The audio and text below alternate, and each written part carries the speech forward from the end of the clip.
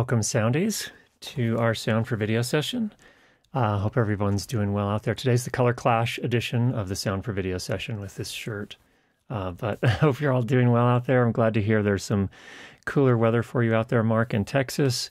And I uh, hope everybody is doing all well. Tech Guy Allen is still hot and humid in Florida.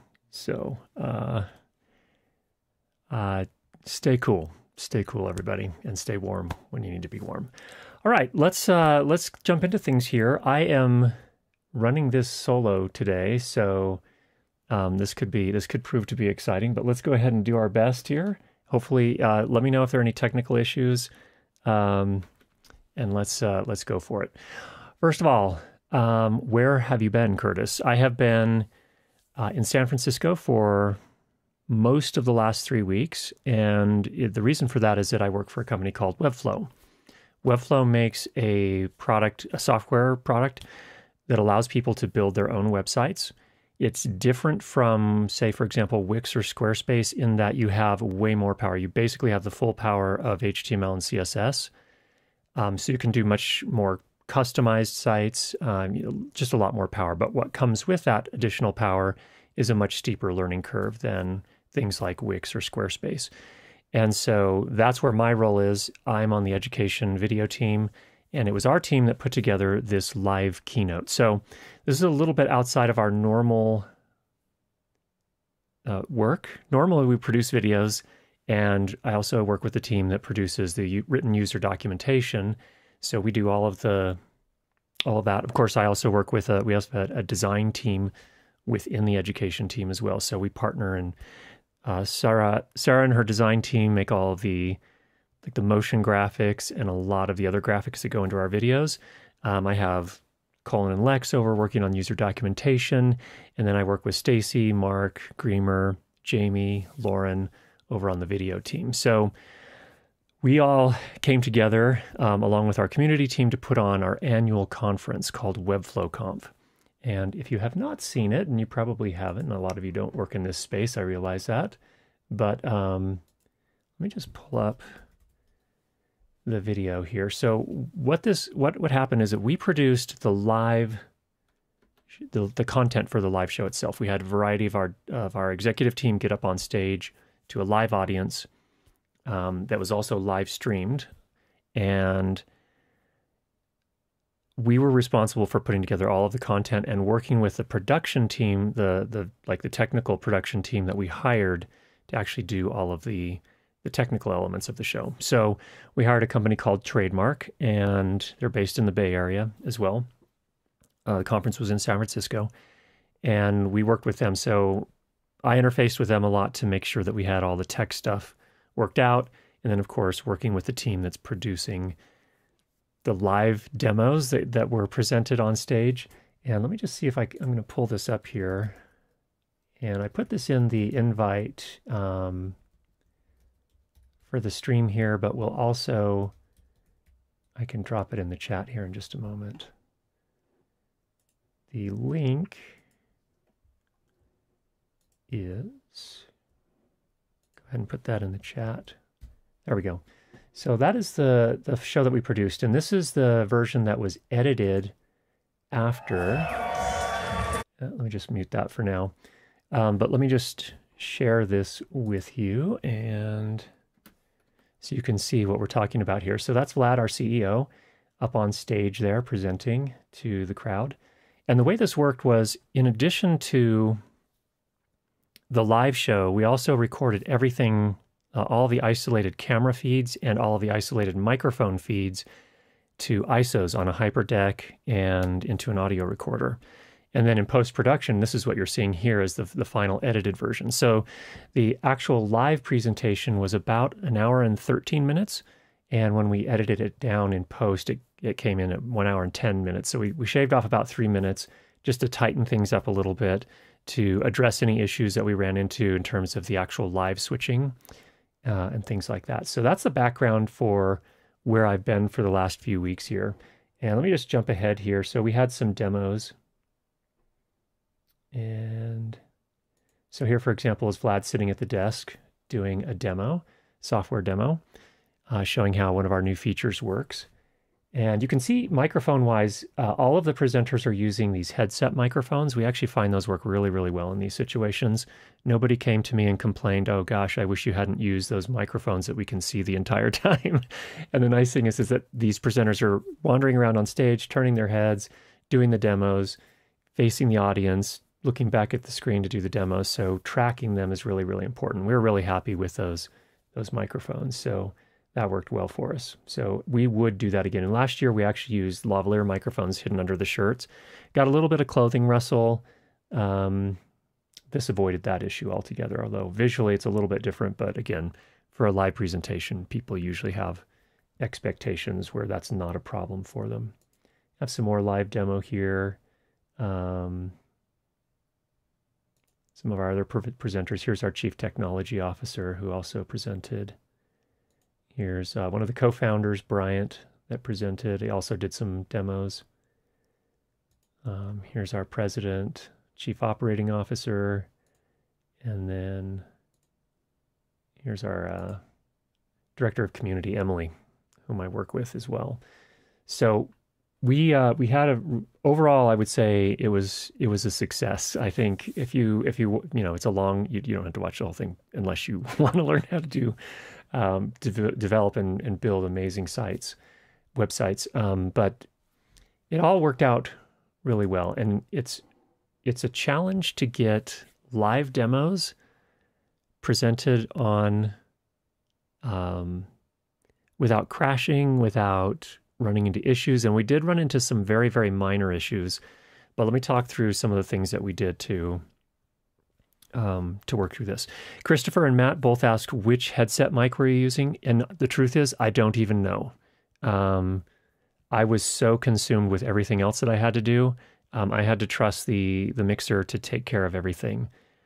Uh, so I don't even know. I'm pretty sure they were either Countryman or DPA, most likely. So um, they they sounded uh, to me quite good. And in fact, in post production we did do a little bit of audio processing. I did the mix, and the um, the biggest thing we needed to do was mouth declick. So I used a lot of RX mouth declick, and in fact, for um, one of the presenters, we we were able to eliminate 725 mouth clicks. so again, just a diff- you know every every voice is a little bit different, so that was really nice to be able to take care of that in the post the post mix here. So basically, in pr- traditionally these are called live to tape. Obviously, we're not using tape anymore. In our case, uh, live to disc. So that's the kind of production I guess I would call it. And they, they, it's it's a it's an interesting challenge for someone who does sound. If you if you normally work in a kind of a post production workflow type of experience, it's a different experience. This is kind of the challenge of both. Um, the good thing about this is that post production is a little bit more straightforward because if you've got everything worked out, you're generally just tuning things a little bit more once you get to post as opposed to like really crafting things in post like you might for a TV show or a, a non live TV show or a movie. So, in any case, um, no, no, okay. So that was the that was the sound there. That was the main thing. We did a little bit of just a little bit of um, a high pass filter, and that was really it. I kept it really really simple again, the sound that we got from production was really quite good. So, could I have done some noise reduction? Sure, um, but we kept the we kept things pretty simple, and the venue was quiet enough. There's a little bit of a hum you can hear in the background, but um, in any case, that's that's how that came out. So, overall, pretty happy with that. The challenge with live, so let me um, let me just I'm gonna pull a picture up here to, to give me just a couple minutes. I'll keep talking while I'm sending that out. But the the thing that was interesting is that for those of you that have not worked on a production like this before, the secret is not having one person that is amazing at everything. The secret here is having a team of people all of which are really good working together and also that know their individual craft well. And that's just the reality of the situation. So, how many people did we have on the production crew? So, including Stacy is our lead producer, Mark is a lead producer, uh, was there as well, also a senior producer. I had Matthew and Lex. So Lex is one of our technical writers. Matthew is one of our community team members. Um, their job was the demo experience. So their job was setting up the demo desk, the computers, the environment on those computers, and making sure everything ran smoothly because that's a big risk when you're doing live demos for software in some parts of the software that are not complete yet. um, so there were some challenges there. So I, I put, we had two of them on that. Um, and then, of course, we had the entire trademark crew. And I think the trademark crew was probably, looked like there were two people on sound there was a person on graphics, there was a streaming engineer, there was the technical director, there was assistant technical director, there was a, um, a switcher operator, um, there was a producer, there was an, uh, kind of an assistant producer. There was another person in the in the control room that I don't even know what they were doing exactly, to be honest. Um, Oh, there was a recording engineer as well. So just someone that was managing all the hyperdecks and all of the recording of ISOs. So we had a there's a lot going on. And let me just get you a photo here of the control room, just so you can get a sense for what that looked like. Um, Mark, also one of our producers, ended up um, also operating teleprompter. So you have a teleprompter here in productions like this. And let me just see if we can get that image up here.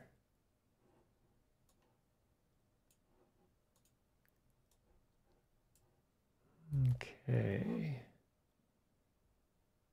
Oh, whoops. As I said, I literally pulled, uh, drove in, drove back, and pulled in last night close to midnight. So things are not quite as refined as I usually like to have them, but here is where we're at right now. So, okay, I can switch over to this. So here's a picture of the control room. Um, this is Mark, our one of our lead producers, and he is operating the teleprompter here. Here's the graphics guy. Um, here's the uh, not uh, not 100%. I think one of them others is also one of them is I think a camera technician, like a DIT, but not off, you know, not not necessarily offloading, but making sure that the color on all the cameras is right. Um, the, this is the producer back here. There's a streaming engineer that's sitting over here by all the hyperdecks. Here's the assistant uh, technical director. Here's the switch operator. The, the technical director is actually hiding behind this guy. this is an assistant or an associate producer over here. Um, and then I was down here also talking with the technical director through the entire show. So it definitely takes a team to put on a production like this. So, uh, really nice, beautiful venue. We were in San Francisco um, in a place called SF Jazz. So it's typically a jazz venue, and just an amazing facility that did a did a great job for us. So that is kind of the uh, the background on where I've been for the last few weeks. Um, so Christopher asked, here, here's a couple questions in the chat that we'll take here. How'd you get video from the computers? HDMI out, NDI, other. So HDMI out into a converter and then SDI from there over to the switchers. So that's how we did that. I don't, I don't believe we were using any NDI. Um, I remember when Steve Jobs' Mac crashed during a live demo. Demo, it happens. So here, here's the nature of. So what we did on the computer side, we had two computers uh, two Mac Minis that were actually attached to the underside of the demo desk there. We had a KVM switch, which I think was actually the source of our problems, and I'll describe the problems in just a few minutes here. Just a single uh, Apple Studio monitor and um, a touchpad and a mouse so that they could scroll with their left hand and mouse with their right hand. Just works well in the in the software that we're using.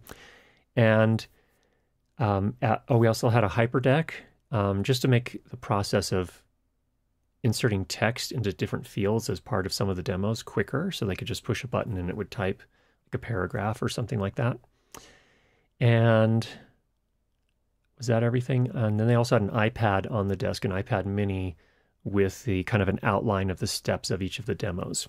So there were two presenters that did demos, Vlad, our CEO, and Bryant, our co-founder. and what happened at one point, they made it through the first three demos flawlessly. It was beautiful. And then got to the fourth demo, I believe it was. Maybe it was the third. It was third or fourth demo, and for whatever reason, this, the the uh, Stream Deck stopped working, and I'm pretty sure it's the KVM switch to which it was attached. And then um, also on the iPad Mini, it got knocked out of presentation mode, and so you know when you're in a live situation like that, presenting to hundreds of people in in person plus thousands of people live, it's really hard to, and you don't want to take a bunch of time and troubleshoot something while you're on stage. And so it just got, it turns out with the iPad, all that happened is it got knocked out of presentation mode. And so he was discombobulated. Fortunately, both of the presenters had presented enough or kind of rehearsed enough that they didn't really need that. So that was fine. Um, but they lost the Stream Deck. And so they had to kind of punt and, and just type in some text instead. So that was the extent of the the failures there. The KVM switch we should have tested more ahead of time. And honestly, um, we we stayed on the previous version of Mac OS, so we didn't upgrade to Sonoma, which had come out before the conference. Not going to do that because we had tested it solely with Ventura, the, the previous version. Um, so I actually, I think the biggest issue we had was that KVM switch, which we just hadn't tested enough to really uh, make sure it. So, uh, Zach, it was the venue was called SF Jazz. Again, the, there's a jazz venue there. Beautiful little facility. It seats like 500, maybe 600, and um, just a really nice, nice facility. All right, Matt or Mark, you were at oh that demo with Steve Jobs when it when it crashed. yes. Um, Vincent, great to have you here today. All right. Talking a little bit about the microphones earlier on, Christopher said, for what it's worth, I have the Shure, uh, four Shure TH53s and been really happy with them. Much preferred head worn over lavs when people aren't freaked out about it being visible. Completely agree. For these kind of things, definitely agree. Those ugly mouth noises, indeed. All right. So that's kind of the story. Um, uh, also had a couple of audience mics. So in post, we actually didn't end up having to use. It's a very, it's a five or six hundred seat venue. It was actually pretty intimate. It was not. It's not a huge, huge venue. And so one of the challenges we had in, at the last conference we did last year was that we didn't have audience mics set up. So we actually had sent a bunch of people out with iPhones and or phones and just had them recording during the event, and then tried to cut some of that in. That turned out to be a real challenge. Um, wasn't great. So we this year actually asked the production company to put up some audience mics, and that that worked beautifully. And in fact, we didn't actually have to pull that into the mix too much because of the head-worn mics that the presenters were wearing. Again, because it's a relatively small venue, um, they picked up the audience just almost perfectly. Like we didn't even have to do a lot of automation to to tune the levels of the audience. It just came out really, really nicely. We got that was pretty lucky in that case. All right.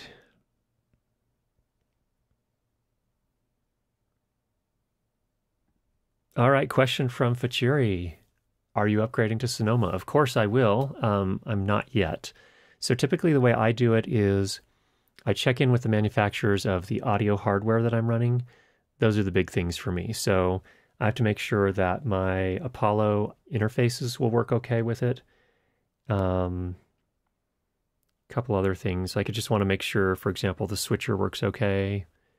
Um, I actually have a list. I made a list in my notes app so that I would never have to kind of reinvent the wheel. And let me just pull that up here. There are a couple of things that I check in on. Give me just a moment to find that here.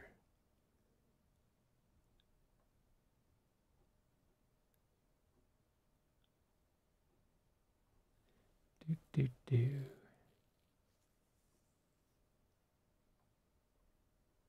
What I what I do here is I just make notes for myself so it's a lot easier to update it. I'm not finding it. I don't want to waste your time here looking for it, but I do make a list for myself of all the hardware that I want to make sure that is compatible with a new version before I upgrade. So I'll typically update my laptop first because I'm not usually connecting all that hardware to that. Um, so I'll update the laptop first, test it out for a while. And honestly, a lot of times what I'll do is I'll update on the 0.0 whatever release on the laptop. And then when we get to the 0.1, usually the other manufacturers have got their drivers and everything updated. And that's when I'll move my main Mac Studio over to that version or whatever my main computer is at the time. So that's usually my upgrade strategy when it comes to Mac OS. All right.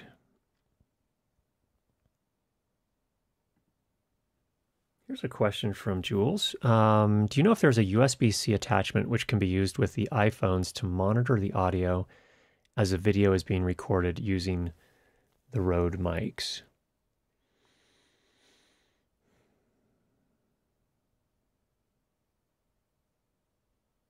That's partly app dependent, Jules, to be honest, but I think there is um, Rode. Oh, yeah, I don't you might be able to use their their own thing. I don't I don't have an answer because I don't have experience. I don't have a sure answer because I have never tried to do this. I don't usually do a lot of recordings with iPhones um, or on my phones and mobile devices. But if I were, the first place I would look is that Rode has, I believe they call it their AI Mini. And let's just go over to Rode's website. Let's pull that up here so you can see. Here. That's the mo. Oh, sorry. Whatever this little guy is called.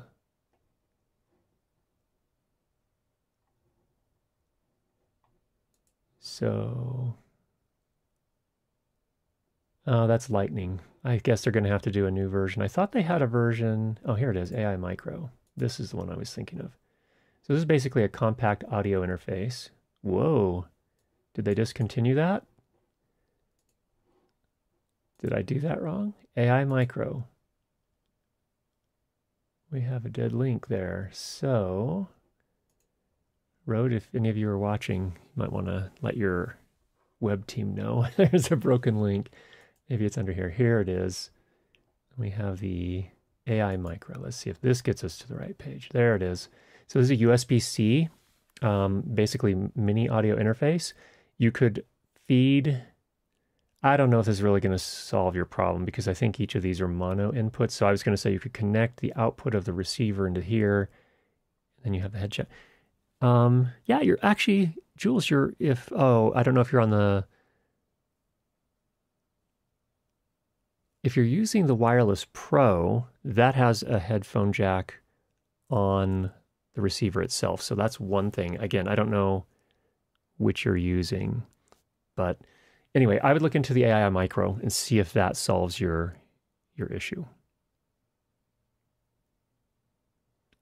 All right. Matt mentions the Steve Jobs Theater at Apple is one of the most amazing venues, but few get to use it. I would like to visit there before I die and, and see a see an event there. Okay. Matt says, always wait for the dot one release. I think certainly for production hardware, yeah, I always wait for the, the point one release as well. Definitely for the production world. And it's nice, yes, the iPhone 15 family now natively USB C. I have mixed feelings about that, by the way. I, am happy about that on the one hand, um, because of things like this. Now, that just sort of standardizes things. You can get more power in, it's faster interface. The one thing I don't like about it, or there's about, is I think we have to be honest, and there's a downside to it, and that is I have never found USB C connectors and ports to be as robust as Lightning. I've never had a problem with a Lightning port or a Lightning connector. I have had several USB C ports fail on me over time mechanically.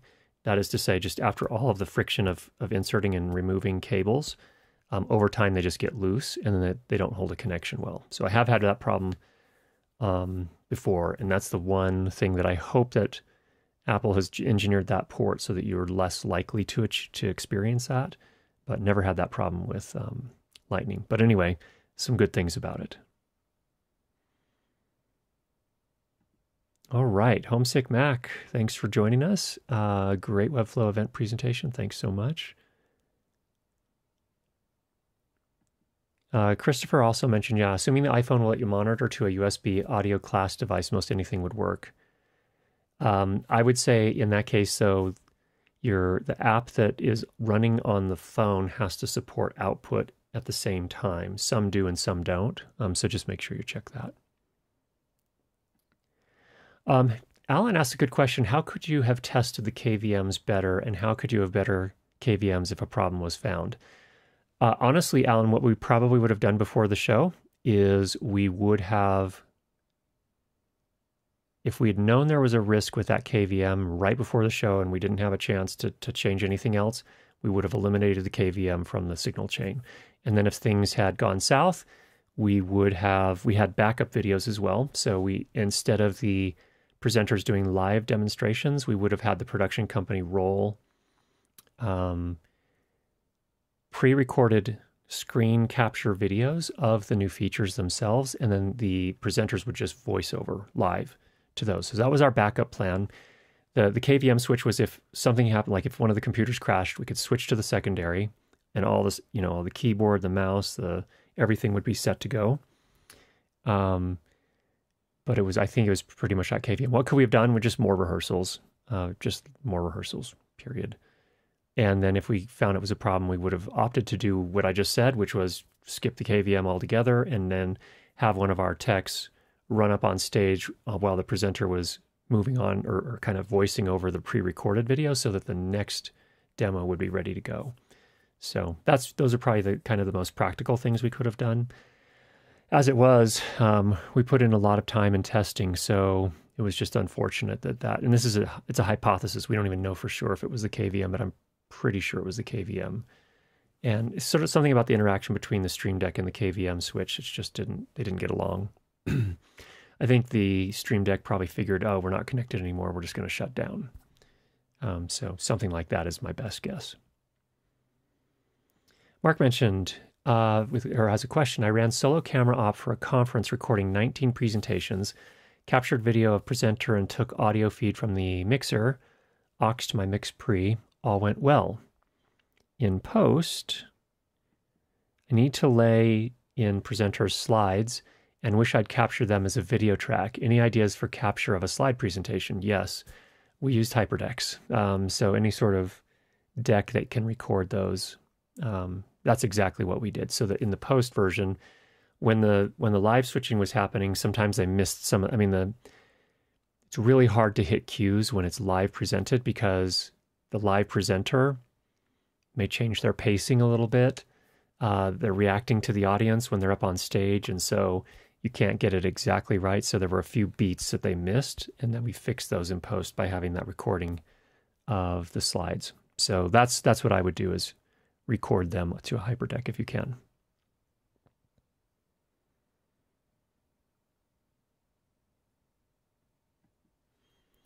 Uh, Vincent says, interesting, that could be an issue since most ports USB C is OEM from some clearinghouse and wouldn't expect the USB C would be any more robust, would not be any more robust than current. Yeah, I've just, that's just my personal experience. I have had USB C ports fail. I've never had a Lightning port fail. Just other people may have had a different experience. I just find that USB C cables in particular and ports loosen up over time after a lot of use. Oh, that's fine, Mark. I, we we do video. I my my title is director of video production, so we're okay to talk about other things as well. If it's not the KVM, it's DNS. It's always DNS. it's always something. Uh, Matt says USB-C connector I've been using my iPad Pro has been rock solid as I use it more than Lightning because I use my iPad Pro way more than my phone. Old eyes, much bigger screen. Yeah. Uh, mine has been fine too. I've had this iPad Pro since 2021, early 2021. I, I think. I can't remember when we got it exactly, but um, it's been okay so far. Yeah, it's been okay so far, but we don't we don't plug it in nearly as much as I do plug in my phone. The where I had the USB-C ports fail before was on a MacBook actually. 2016 MacBook, late 2016 MacBook. I still and Danny still uses that computer just for like if she's going to do an exercise class or whatever and just wants to put it up in a you know stream something back um, we those USB-C ports are a nightmare at this point. And that's old. Granted, I get it. That's a really old laptop, but that's my experience is that um, it's just not as robust. And I think that that's the reason, honestly, it was before USB-C was, I think it was before USB-C was finalized that Apple came out with the lightning connector. And I think part of the challenge is that USB-C is governed by a, an entire board. There are a bunch of participants from a whole bunch of different companies that come to, together to make it and Apple saw what was going on and how long it was taking. They wanted to get away from their ridiculous old, um, what was it? I don't remember how many pin port they were using on the original iPods and the earlier iPhones. And they just wanted to get away from those. And so they created their own, which is how we got Lightning. And I, I don't like it. Um, I don't like that there's that fracture. And obviously, the European Union doesn't like it so much, in fact, that they passed legislation um, but, and yeah, I think Apple has some consternation about it as well because it's going to cost them a lot of money and did cost them a lot of money. Um, but this is this looks like this is Alan's experience as well, where that uh, the Lightning versus USB C. I just say I say just give me a BNC connection and we stay friends. Well, I, I hear what you're saying, Vincent, although I don't think anyone's going to want a BNC connector on sticking out of the bottom of their phone. So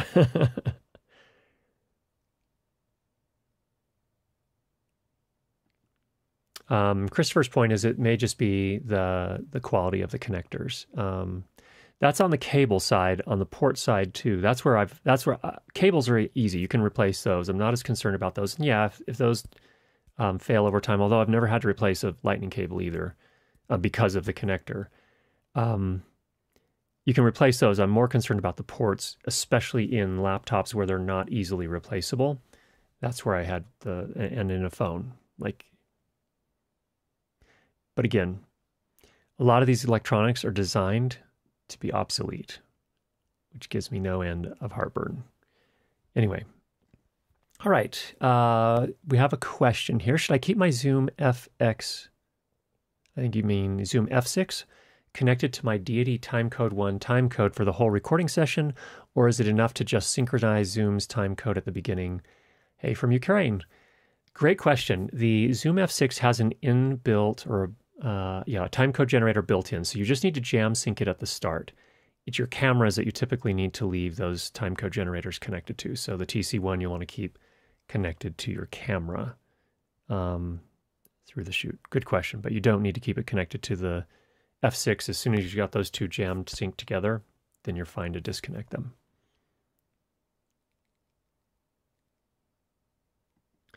Uh, Eric says there's got to be some engineering measures on the total number of insertions before a physical connector like Lightning, Lightning or USB-C A, B are reliable. Yeah, I would see. I'm sure there's an MTBF mean time before failure.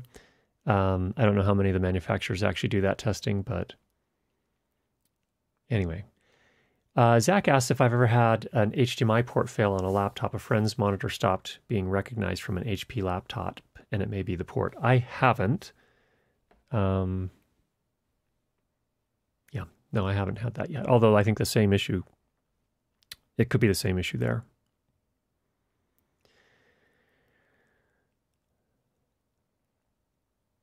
Okay let's uh, let's go ahead and jump over. We have some questions that were submitted ahead of time, and let's go take a look at those really quickly. So I'm going to switch on over here. All right, this is a question from Dwayne. What's your workflow for making a mono track into a stereo track? Do you just copy paste the identical file onto a new additional track, or do you make minor tweaks like pan to the left or right to it before exporting? I'm coming from an area of nature sounds and not so much spoken word, if that makes a difference. Um, that's a great question, Dwayne. So you're not going to. Usually, nature recordings are recorded in stereo format. So that's the first thing. If you're trying to get a stereophonic image, you would generally want to record it in stereo. But if not, if you just have a mono recording, um, then no, I just make it dual mono, which literally just same thing on the left and right channels exactly the same thing. That's generally like if you're using a, long, a shotgun microphone and you're trying to isolate say there's a bird up in a tree and you're trying to get just the bird recording um, and not as much of the other ambient sound, and that's that's where you would do that. And so it's usually that's when you're going to do a mono recording. If you're intentionally trying to get immersive ambient sound, then you're typically want to go to going to want to record that in stereo from the start. Um, so in that case, then you would you would be able to do some panning or whatever tweaks you wanted to do there with the stereo recording. But if you're starting with a mono recording, um, you can put it on a like if you wanted to do a surround mix, you could put it on an Atmos track, or you could put it on a five one, you know, into a five one mix and actually pan it around, so it sounds like it's moving. But that's all done in post. But typically, if you're just doing a stereo mix, um, I would just put it uh, make a dual mono track, so same thing on the on both channels. And then if you want to pan it, if for example the camera moves and now the bird is over on this side of the frame, you can pan the audio to that side of the frame to kind of keep that coherence um, between visuals and audio. But typically, I just I would just uh, make it a dual mono, which means copying the exact same thing on the other track or the other channel of that same track. So hopefully that gives you some context there. Next uh, set of questions, and they're really oh whoops, I switched back. So next set of questions here is from Albie, really small. Apologize for that, but these are a series of questions Albie had on the Zoom F6. So let's just run through each of these one by one. First one is what does it mean when the record button is blinking? So let's go to our overhead camera here. Here we have our Zoom F6. Now, Albie, when you start a recording, you, of course, you press the record button. If you want to place a marker on the track, and I've got a big battery, so I apologize. This is not like the optimal position here. Um, but you can you can actually set a marker if you set it up this way. So if I press the play button there, it sets a marker and it pauses the recording. So the blinking red record button means that it's paused. To continue recording, you press this again. So if it's blinking, that means it's paused and you're not actually capturing audio at that moment. So be careful about that. You generally don't want that. Now, if you want to stop the recording, of course, you press the stop button. So that's what the blinking uh, record button means. All right, back over to the questions here. Does AutoMix work when recording a in dual mode? And by dual mode, he means 32-bit and 24-bit recordings at the same time. The answer to that is I don't know. Let's try and see what happens. So um, I'm going to have to do this kind of a weird angle. Sorry about that. That's a little hopefully better. All right, so we're going to go into the menu and we're going to go to the record menu. And here we can choose our mode. So let's do dual mode. Let's do 24-bit and 32-bit at the same time.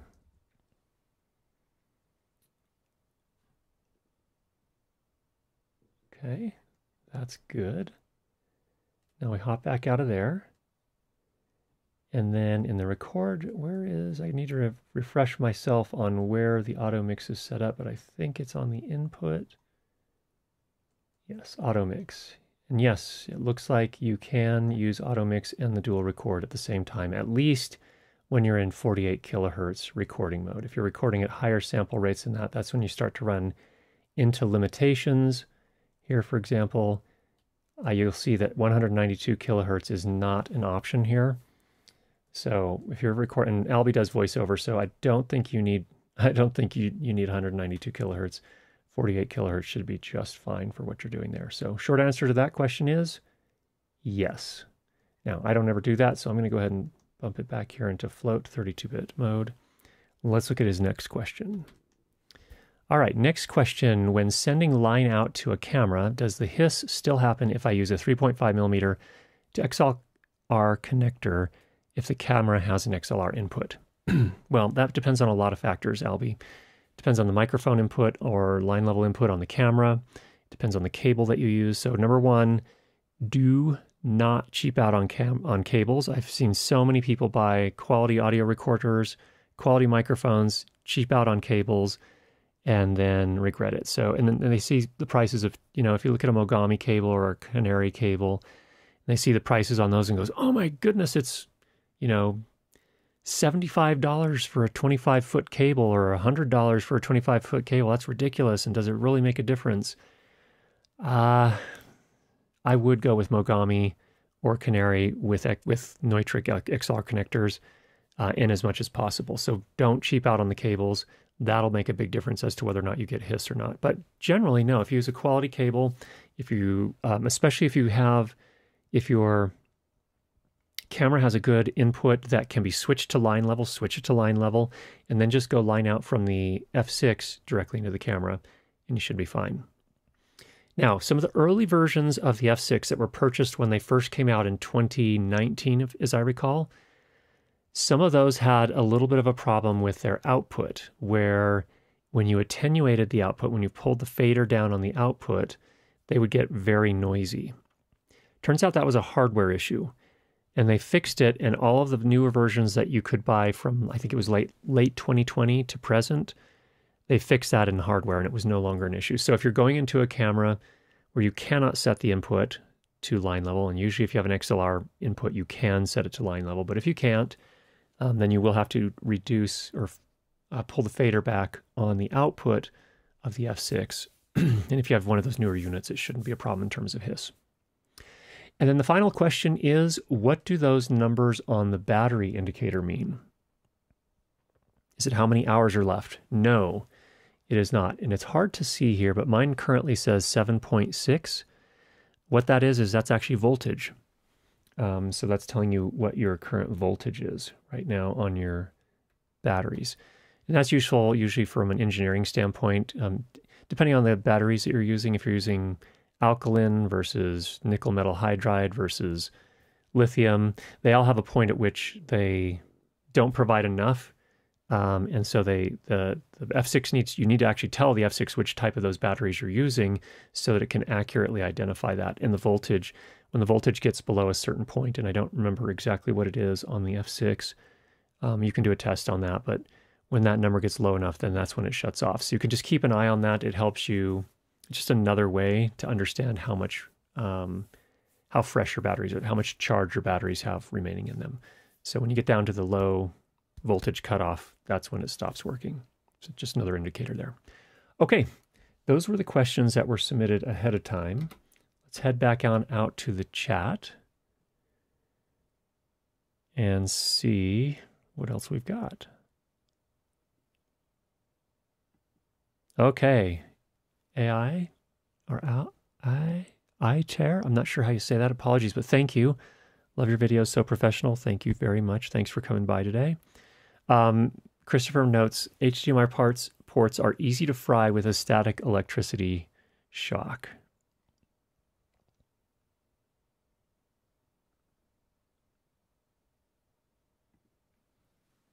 I don't doubt it.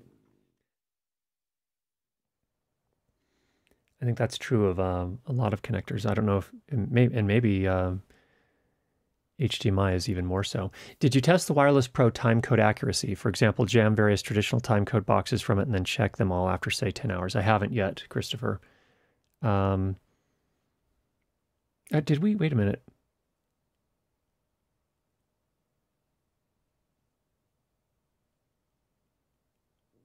Mm, no, I don't. No, we didn't. We didn't have time to do it, so we have not done that yet. Evidently, they do have. Um, I'm surprised you're asking about that. Are you planning to use the Rode Wireless Pro? or are you just trying to get to the bottom of uh, whether or not they're actually using a temperature comp- compensated crystal oscillator in there? I've noticed that the price of those um, wholesale is, is quite low. So, um, anyway, Alan says just to uh, to Albie's question about cables and hum or hiss, cable quality doesn't make much difference with hiss, but can make a difference with hum. Interesting. Thank you for that clarification. And I think that's actually right. A lot of times hiss is noise in the preamplifiers or um, yeah, usually that's it. Excuse me, at the source or at the receiving end. Um, but definitely hum. I've picked up plenty of hum on different things. All right. Uh, Mark says Sound Devices has sent customers an invitation to a MixPre live stream event that it says will include some exciting MixPre news. No details, October 16th, 2023 at 11 Central Time. Thanks for that, Mark. I did see that come through. Um, it'll be interesting to see. I'm assuming those will be software changes, but maybe not. Um, wondering, oh, okay, Christopher about the time code is wondering if they have a temperature compensated crystal oscillator. It's too cheap a combo. Um, no, I actually think it is. Uh, according to Ryan over at Rode, it is in fact a temperature compensated crystal oscillator. I don't know, and it with a 0.5 ppm, so it's it should be good. Um, I just haven't tested it yet. Um, and like I said, I think the, the wholesale prices on those TCXOs has come down a lot. So, um, anyway, I think that's uh, that's what I'm that's what I'm finding here. All right, if you have a question, go ahead and put it in the chat. Just make sure you put at Curtis Judd Audio. That'll make it really easy to find it here in the chat. Um, and let's let's continue the conversation. What else can I tell you about the show? Uh, San Francisco is a is a is a fascinating city. Amazing food choices there. So ate a lot of good food. Um, also had some interesting encounters with people on the street. Uh, one guy came walking down the street, took his shirt off, and was sort of twirling it around and looking straight at me, and then came up to me and started dancing, and then walked off. And then, then I, I was waiting on the street uh, for one of my colleagues to open the door, and then he turned around and came back at me. I was kind of freaked out, um, but then he he walked off. So, uh, no no no bad encounters just um, was a little bit like oh my goodness what's happening here and uh, and it's an expensive city too i will say that for sure in terms of all the places that i've been one of the more expensive ones all right i'll just tell you about our signal chain for today um, the earthworks ethos i actually had someone ask me this week what if money was no object and you had to choose a microphone for yourself, a buy once and never worry about it again microphone, what would it be for this kind of situation? It's the Earthworks, Earthworks ethos for me. Um, I think it's a pretty good fit for my voice. I like it a lot. So that would be my choice. This is somewhat subjective, so don't take that as a any sort of authoritative this is the microphone you should get necessarily, but from my point of view, it's a really good option.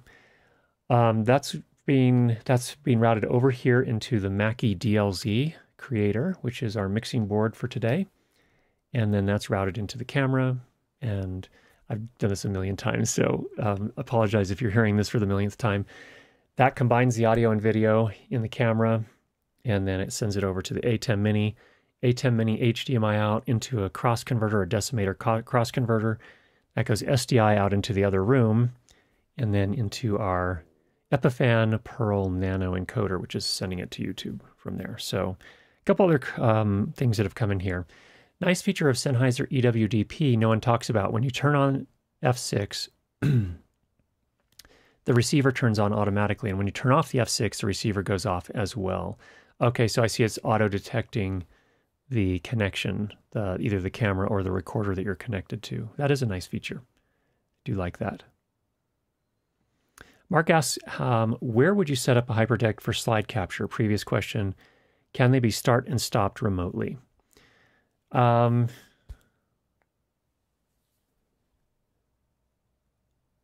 well, in our case, we, again, I was not on the technical crew for this particular situation, but usually the way they do it is they run the feed directly into the switcher, and then they have an ISO output on the switcher. They're using one of the big rack mount switchers and then a, an output for that individual channel um, over to a hyperdeck that recorded just the just the slides in this in this particular case. We used Apple Keynote as the presentation platform. Um, so that's that's the rough idea. Um, I don't know when you say where uh, would you set up hyperdeck for slide capture. In our case, it was in the control room. Um, can they be start and stopped remotely? I don't know I don't know if the newer HyperDecks, my current one does not have any re- remote control capabilities, or does it? Actually, it might through the software control app, the ATEM software control mat, uh, app. I'm not sure about that, actually, Mark. you'd have to check into that. I would not be surprised if the newer versions do. Mine's actually quite old. Mine's from, I think mine was first introduced in probably 2015, 14, 15. It's an old one. So I don't have one of the newer ones. Christopher asks Have you upgraded the Mackie to the new firmware with NDI audio and tested it? I have updated it, but I have not tested it. I've been working on a keynote and uh, working long hours to get that done, so have not tested it yet. And then also, have you tested sending SRT to YouTube with the Pearl or still just using RTMP? I'm using RTMP uh, right now. Um, but I have done an SRT show before where I was sending SRT to another Pearl uh, across the world. In fact, we had, well, I was sending from here in Utah to uh, Photo Joseph, who was in Oregon at the time. Aaron Parecki was on the stream. Also, they were in the same city, I think, or, or nearby each other, um, both in Oregon. Uh, he Aaron also sent an SR street, SRT stream to Photo Joseph. And then we also had John. What is John's last name? I don't remember John's last name, but he was in, uh, I think, Sweden on an LTE connection, sending an SRT stream from Sweden to Oregon. Um, and the stream was actually pretty good. It was pretty, the quality was definitely high quality. Um, we had a couple of minor, just very quick cutouts, um, but overall, it was very good. And in terms of staying in sync, um, we were all within milliseconds of each other. It was very impressive. So SRT is a really good one. Um, oh, good. Christopher says Hyperdeck has an API, Companion and others use that API. So you could use the Companion app to remotely control the Hyperdeck. Yes, and it's John Barker. That's right, Eric. John Barker is the one that joined our stream there. So we have done that. Uh, Mark, ha- uh, Mark is high on caffeine today and has many questions.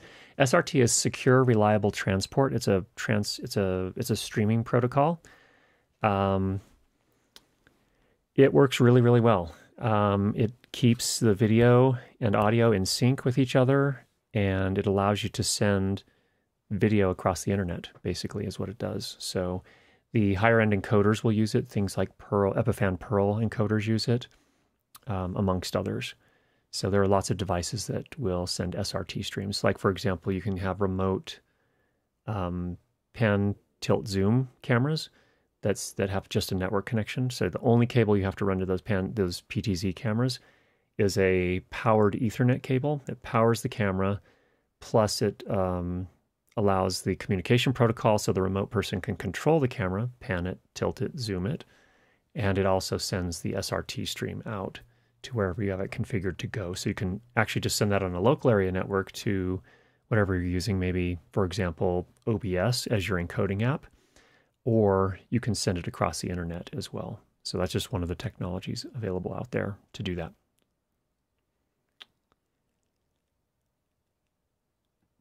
All right. Zach says, lived in San Francisco from 92 to 2008. It was great. Sadly, it's changed quite a bit, not for the better, especially post pandemic. Um, yeah, there's a there's unfortunately a lot of homelessness and a lot of city is really quite dirty, I would say in a lot of parts. Um, but there are some nice parts as well, and definitely great restaurants that I really enjoyed. Uh, Christopher says SRT is more reliable than RTMP, which is an ancient protocol. Generally has lowered latency as well, so might cut down the latency on YouTube live streams, which is what prompted my question. Um, yeah, there's a trade-off uh, with latency as well. The nice thing, I think, I, don't, I can't speak to why YouTube still, RTMP is still their main kind of way in. Um, but I think they intentionally have a normal latency setting, which is actually quite long. It's like 10 seconds or something. I mean, I guess okay, I think it flexes depending on things, but I think in part they do that because people are trying to stream from mobile devices from Wi-Fi at their home or with, their laptop. Um, and having additional latency provides a little bit of a buffer so that if the signal does drop for a, just a just a momentary drop, having additional latency allows it to recover before it, gets streamed out. So there are some benefits for building in just a little bit of latency. Um, But in any case, SRT, um, in my experience, has worked really, really well. So I was not aware that YouTube now supports SRT. Is that what you're saying, Christopher? It does now officially support SRT streams in addition to RTMP. I'd love to try that. And it would be great to see, for example, the ATEM mini models support that as well. I wonder if that would get past the um, some of the issues that I've had with the encoder, the, like the the external encoder built into the ATEM Mini models. So uh, specifically, SRT is also required to stream at higher than 1080p to YouTube, though most live streams don't actually need 4K. Absolutely. I tried doing, no, actually, that's not, it wasn't, it didn't used to be true. Um, it may be true now, but when I first got the 4K switcher that I have that I don't typically use, um, we were doing R- RTMP. So maybe they've changed that since then, but I would actually recommend using SRT if you're going to be doing 4K. And I also agree, there's just not a lot of need. Um, there's not a lot of need for 4K streaming in most cases. There are a few use cases, I'm sure. I'm sure there's some gamers that would like to do it. Um, but in any case, that's the state of situation. Um, Christopher says they do have it, though might still be considered beta. Okay, cool. Eric says, I think SRT is offered to certain accounts on YouTube, not offered as an option to all channel owners. I see. Okay, so Christopher clarifies, or rather, SRT is required for H.265 streaming, which you really want for 4K because it has much better compression um, to quality ratios than S than H.264. Okay. All right, friends, it's time for me to go and clean up all the things that I have ignored for the last three weeks. um, we'll be getting our back on track for our regular videos over on the main channel. We'll be back now with no foreseeable um, skipped weeks on the live stream. So thanks for joining us today. Get out there, make some great sound, and we'll talk to you again next week. Take care, everybody.